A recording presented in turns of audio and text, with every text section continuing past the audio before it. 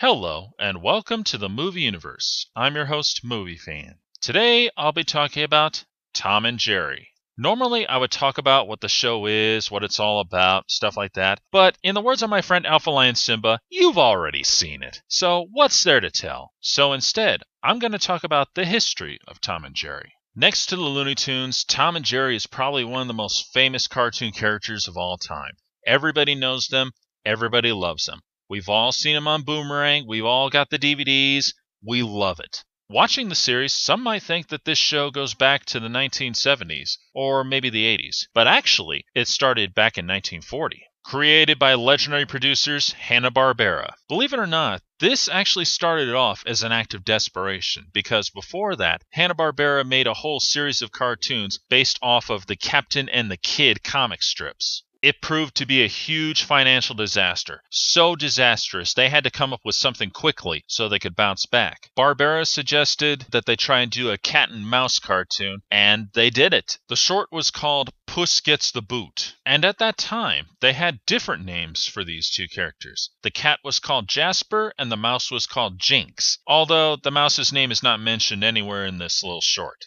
It was a very successful little short, but Hanna-Barbera decided to do other cartoons for a while because the people at MGM said, haven't there been enough cat and mouse cartoons already? But the people wanted more, and so they made more. This time they changed their names to Tom and Jerry, and it all went up from there. Hanna-Barbera continued to make the cartoons all the way to 1958. And during that time, they actually had help from legendary animator Tex Avery. New episodes of Tom and Jerry didn't emerge until 1961, where it was brought back to life by director Gene Deitch. When he took up the mantle of Tom and Jerry, he gave it a whole new look, a whole new animation style, and in my opinion, his version isn't really the best. In fact, I'd say it was quite inferior to Hanna-Barbera, mostly on the animation style, and the music just feels kind of subpar. It's like it's more dead air than anything else with a little bit of sound here and there. But it did keep the series of Tom and Jerry alive. His little reign lasted only for a year, from 61 all the way to 62. Obviously, nobody really liked his Czechoslovakian style of animation. And what can I say? You know, when you do something like that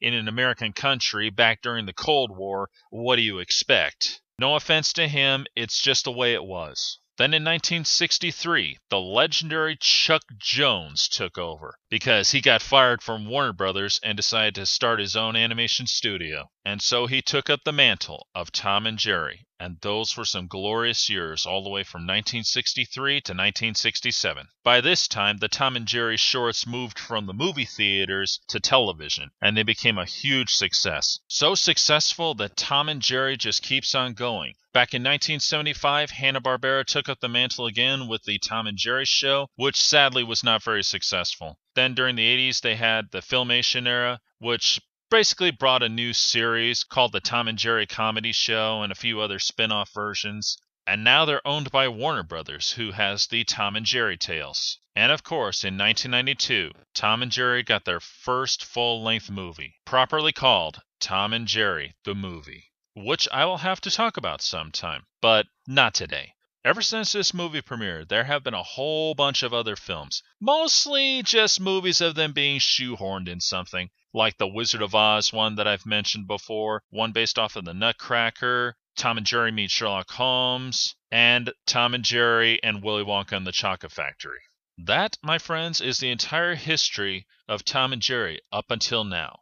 What does the future hold for Tom and Jerry? I don't really know. Considering how famous they are, who knows?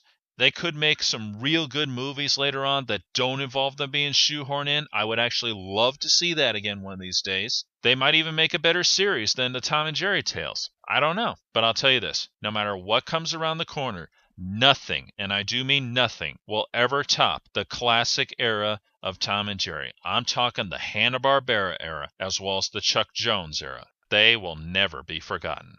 This is Movie Fan signing off.